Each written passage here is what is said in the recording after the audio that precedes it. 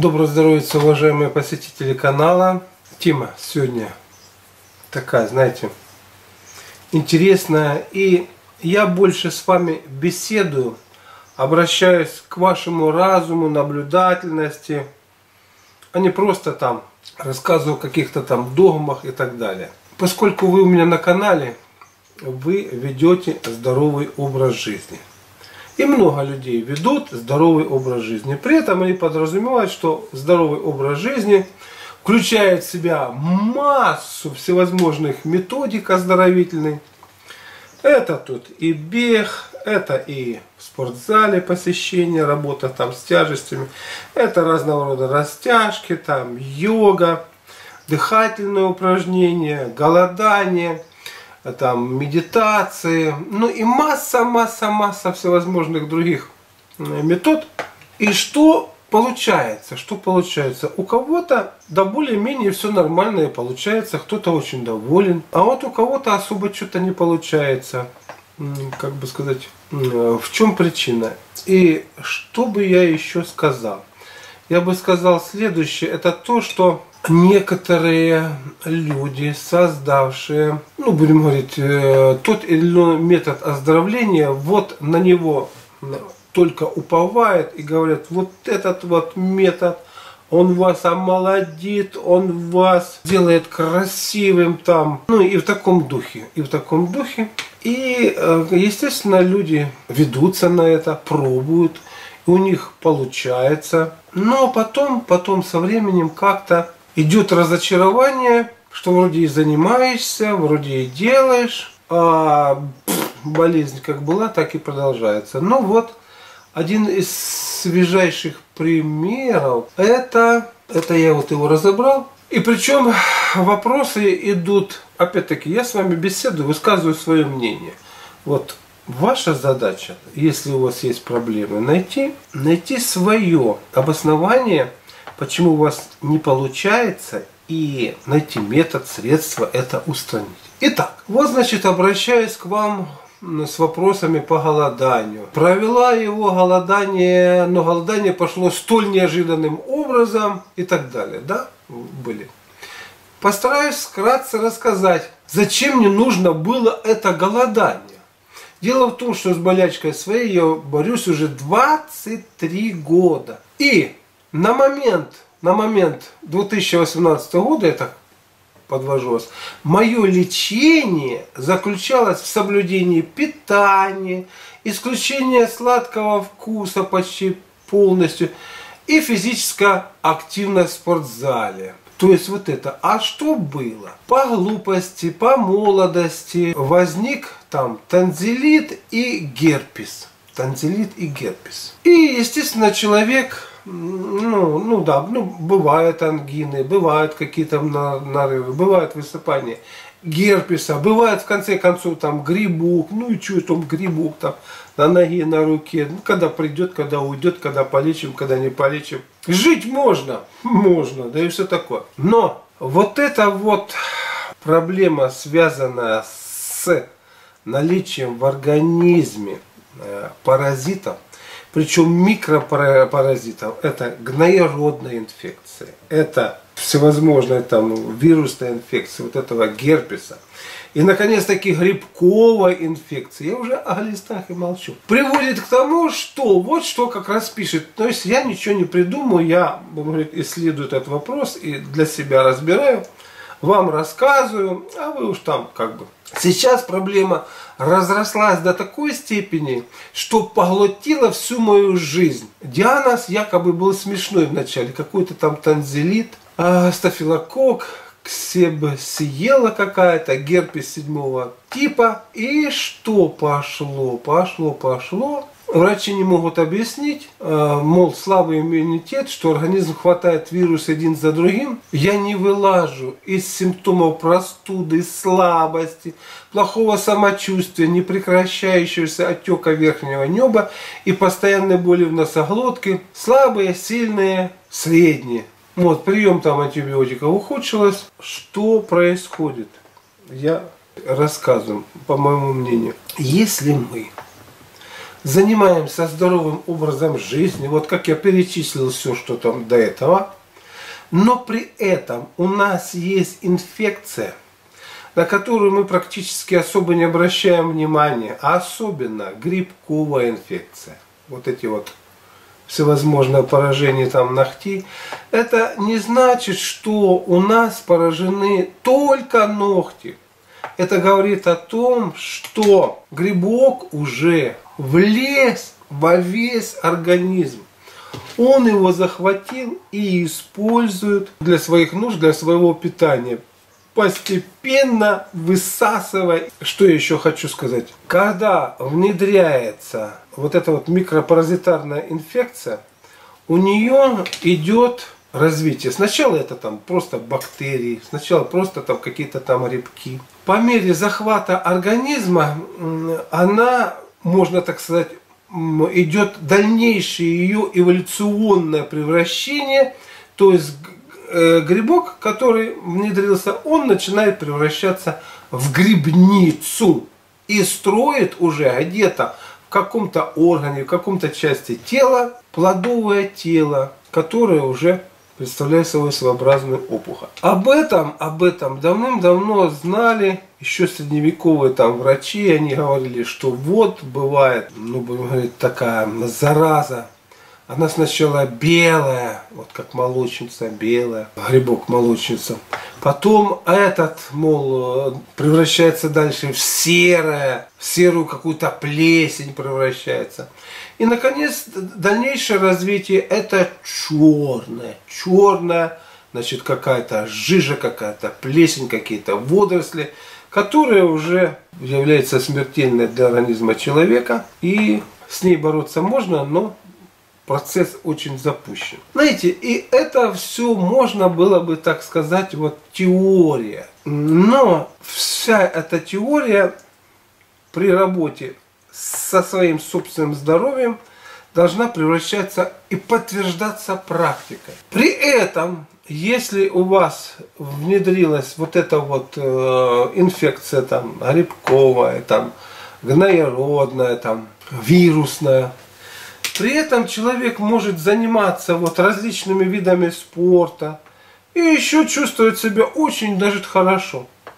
Например, я что там вычитал, что накануне Олимпиады в Риме, это 1960 год, у Власова были нарывы на ноге, такие гнойродные. Мол, когда ему что-то там делали массаж, втерли там тальк и получились такие нарывы. Но тем не менее, несмотря на эти нарывы, там их обкололи, насколько я понимаю, антибиотиками.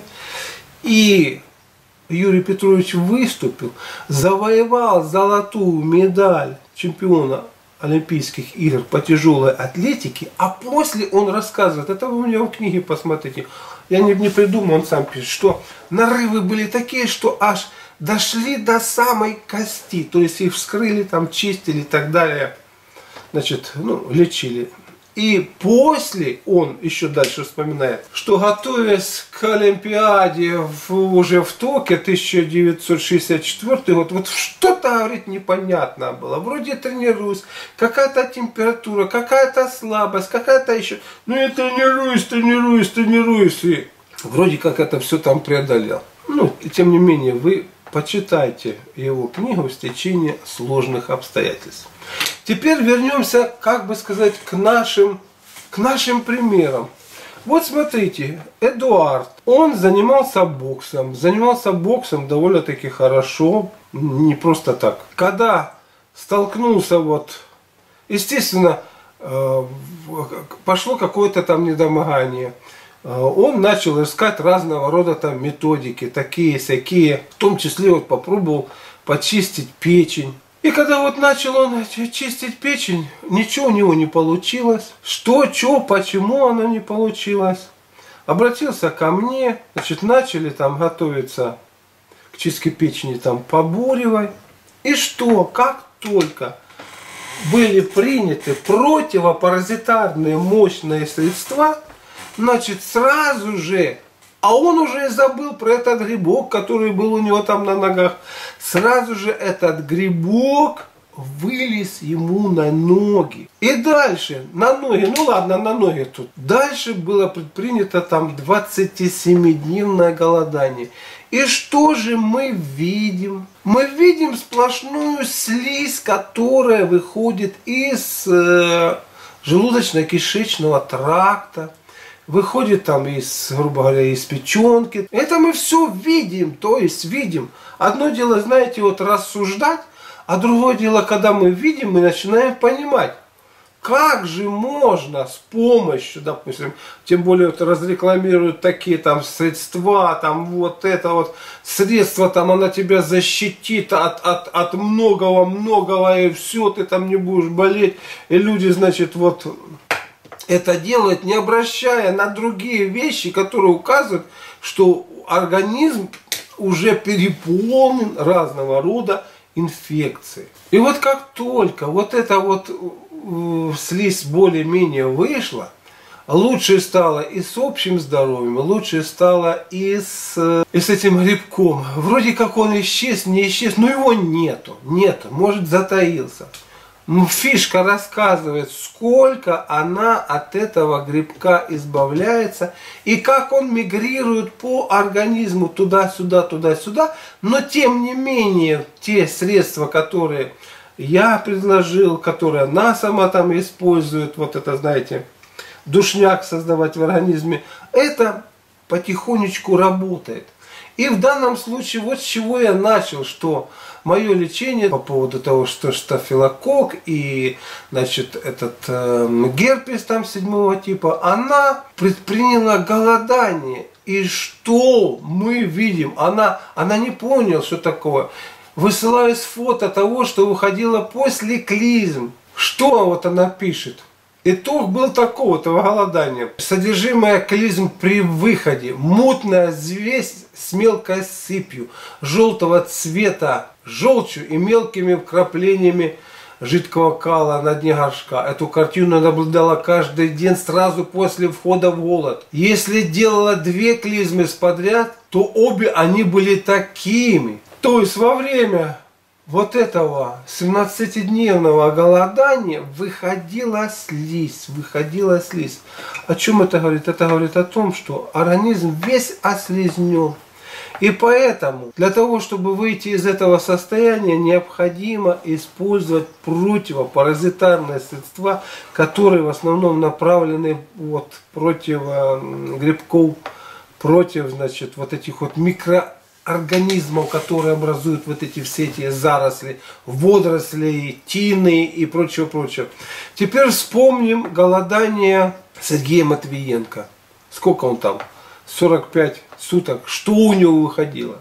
У него выходили постоянно глисты, и выходила слизь, глисты и слизь, глисты и слизь. И после уже, когда он окончил все эти э, голодания, на выходе продолжала из голода выходить вот это вот слизь. Какой бы еще вам пример привести?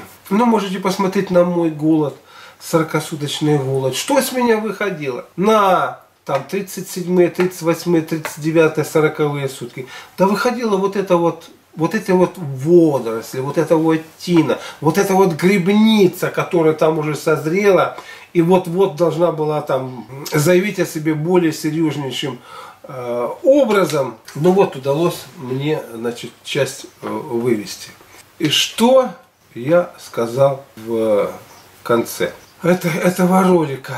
Если у вас было внедрение этой гноеродной инфекции, там гноеродной, грибковой и прочее, прочее, прочее, герпес там, вот где-то с детства, там, молочница, то вы не думаете, что она там как-то сама по себе исчезнет.